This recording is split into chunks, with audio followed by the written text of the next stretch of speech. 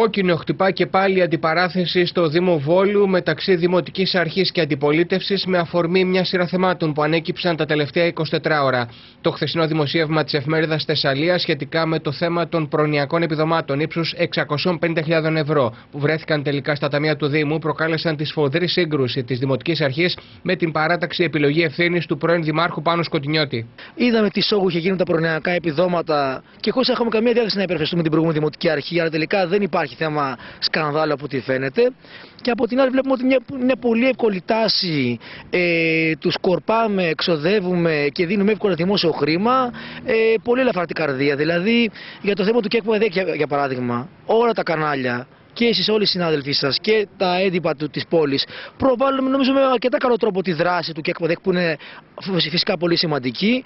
Την ίδια στιγμή η Ματέο υλοποίηση της σύμβασης ύψους 12.500 ευρώ για την απευθείας ανάθεση σε εταιρεία ραδιοτηλεοπτικών μέσων της προβολής του έργου της ΚΕΚΠΑΔΙΕΚ, καθώς και η αποκάλυψη της ηλεκτρονικής εφημερίδας Magnesia News για την ανάθεση προβολής του ΔΟΕΠΑΠ ΔΙΠΕΘΕ σε συγκεκριμένο πρόσωπο έναντι αμοιβής 9.500 ευρώ σε συνδυασμό με την προσφυγή των δρόμων συνεργασίας κατά της αλλαγής του καταστατικού της Ανεβό πυροδοτούν νέες αντιδράσεις από τη μείζωνα μειοψηφία που κάνει λόγο για διαφάνεια και προσπάθεια βολέματος ημετέρων.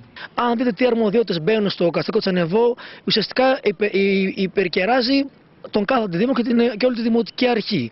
Ε, σε σημείο που να υπάρχει θέμα διαφάνειας ελέγχου, γιατί θα είναι μία ΑΕ η οποία θέλει να, να κάνει πράγματα τα οποία δεν της ανήκουν.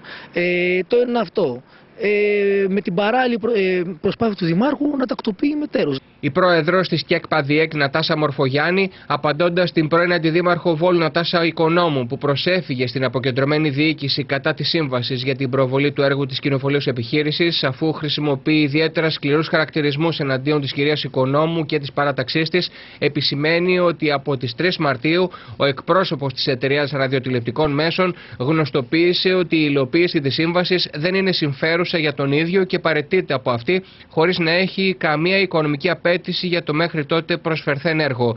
Το έγγραφο αυτό κοινοποιήθηκε την ίδια ημέρα στην αποκεντρωμένη διοίκηση ως απάντηση των στοιχείων που είχαν ζητηθεί. Για να καταστεί λοιπόν αντιληπτό και από τον τελευταίο κακόπιστο πολίτη πόσο βρώμικη και λασπολογική είναι η συμπεριφορά των ανθρώπων αυτών απέναντι στη δημοτική μας αρχή, ας διερωτηθεί ο καθένας πώς είναι δυνατόν να κρυθεί παράνομη ή πολλό δε μάλλον να επιστραφεί κιόλας στο ένταλμα πληρωμής μια σύμβαση που ήδη έχει ακυρωθεί με συμφωνία των συμβαλόμενων. Επισημαίνεται μεταξύ άλλων στην ανακοίνωση της κυρίας Μορφογιάννη.